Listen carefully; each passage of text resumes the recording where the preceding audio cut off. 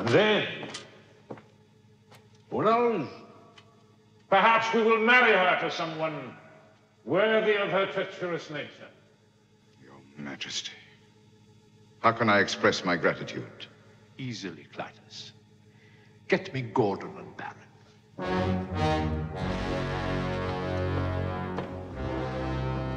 With pleasure.